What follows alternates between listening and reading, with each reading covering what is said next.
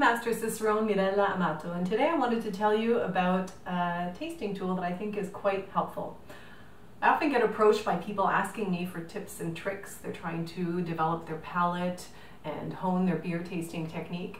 And I did develop a tool specifically for this purpose, and it is my Beerology beer evaluation sheet.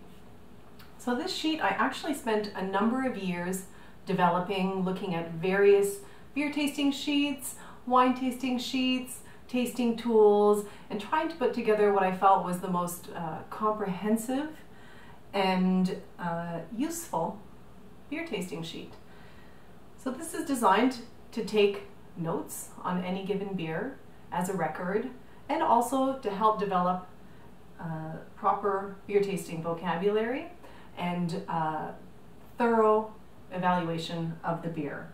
You'll see it takes you through the appearance, the aroma, the flavor, mouthfeel, the finish, and general impressions. And I do update it quite regularly. The latest update included the addition of sour notes, since sour beers are all the rage right now. So this sheet here is available as a free download on my website.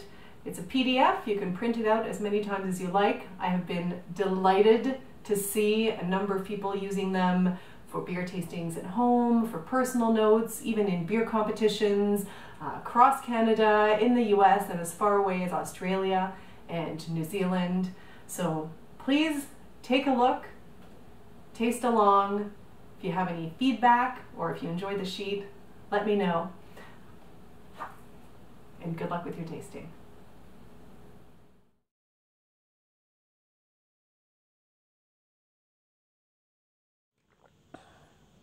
Oh, that's tasty.